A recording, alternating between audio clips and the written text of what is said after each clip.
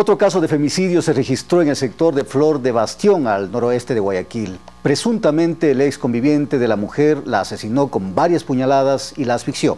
La policía está tras la pista del agresor.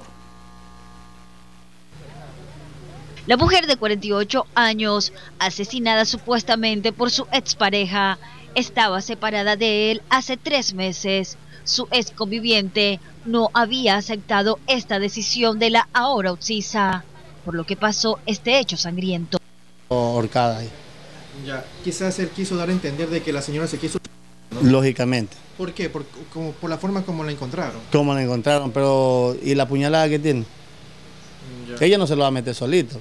¿Usted cuando la encontró, la encontró como la encontró? Yo la encontré acostada ya, yo la encontré acostada a ella y a ella la cogí y me la llevé a la camioneta y ahí lo fuimos a visitar. Se trata de un supuesto caso de femicidio. Y el man cogió, le de ahí mi tía le preguntó por mi mami y él le dijo que estaba dormida.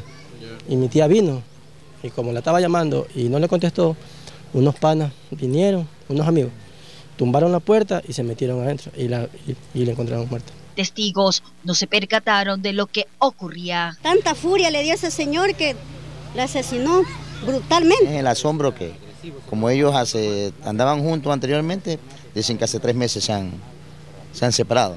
Y ahora la noticia que el señor la ha matado. Las autoridades están tras el paradero del supuesto autor material del crimen. Y no obstante, pues estamos eh, trabajando hasta este momento en lo que se refiere a la investigación fiscal en torno a este hecho de femicidio. Según lo mencionado por los familiares, ella habría sido amenazada por su expareja. Bueno, eh, como le indico, todo esto se está tomando ya versiones, estamos trabajando en este hecho con la finalidad de tener más elementos claros y precisos. Este hecho se suscitó en el sector de Flor de Bastión, al norte de Guayaquil. Gilena Perlaza, Telegrama Noticias.